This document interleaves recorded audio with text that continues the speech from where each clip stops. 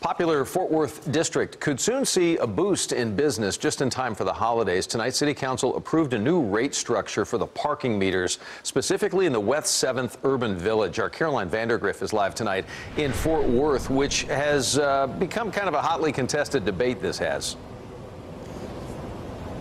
That's right. This has been an issue going on for months, Doug. But shops and restaurants here hope this change will encourage more people to come to this area because they can now park for free for two hours during the day. Businesses say that these parking meters here have really been hurting their bottom line. I think it's very confusing right now, and people just get frustrated, and so they go to areas that they know. Parking problems have plagued West 7th Urban Village for months. We're inundated now with parking meters out there that nobody can work. Everybody complains about it. Street spots used to be free until the city installed parking meters in August of last year. The owner of Pop Safari Cigars and Fine Wines says the move initially caused his daytime business to drop by 30%.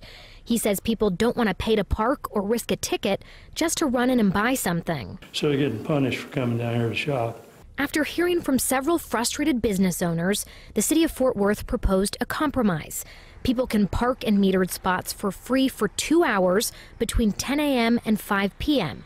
The rate goes up to $3 for the third hour and beyond. That sounds great. I mean, I don't, I don't know why it's not a thing already. This is the time people are doing holiday parties, and the season's approaching, and everybody wants to be out. They're buying gifts, so it could only help everybody here. City Council unanimously approved the new rate structure tonight. It goes into effect this Friday. Live in Fort Worth, I'm Caroline Vandergriff, CBS 11 News.